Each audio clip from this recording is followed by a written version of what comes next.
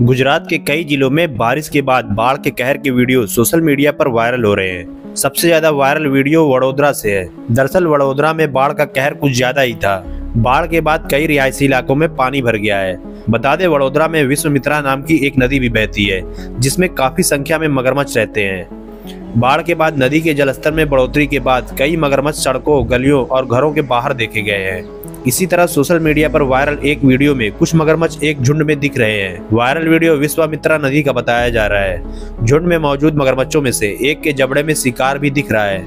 Report के मुताबिक, भारी बारिश शुरू होने के बाद से वडोदरा में विश्वामित्रा नदी से मगरमच्छों के निकलने से संबंधित 15 से ज़्यादा घटनाएँ सामने आई है।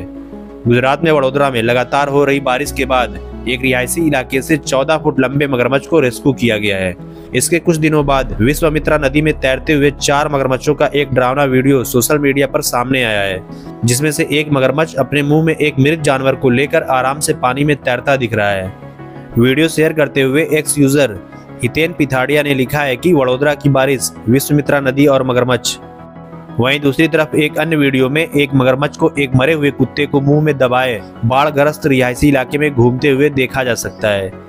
एक्स पर वीडियो शेयर करते हुए एक न्यूज़ चैनल की जर्नलिस्ट ने लिखा कि हर बार जब विश्वमित्रा नदी में बाढ़ आती है तो पानी के साथ मगरमच्छ भी सड़कों पर निकल जाते हैं। इससे पहले खबर आई थी कि 26 अगस्त से 29 अगस्त के बीच वन विभाग और एनजीओ स्वयं सेवकों ने 14 मगरमच्छों को बचाया था। भारी बारिश के कारण सबसे ज़्यादा प्रभावित जिलों में से एक वडोदरा में विश्वामित्रा नदी से मगरमच्छों के निकलने से संबंधित 15 घटनाएँ सामने आ चुकी है। इससे पहले विश्वमित्रा नदी से 100 मीटर दूर कामनाथ महादेव मंदिर से 14 फीट का मगरमच्छ बचाया गया था।